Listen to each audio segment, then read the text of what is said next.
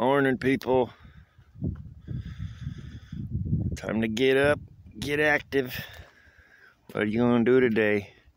What are you gonna do this week? What are you gonna do this month?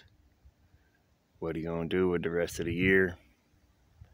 You gonna wait till New Year's to come up with a resolution that you don't follow, huh? You got six weeks before New Year's, huh? Get your fucking shit together, people. What's going on? Let's do it. Let's get it done, folks. Woo!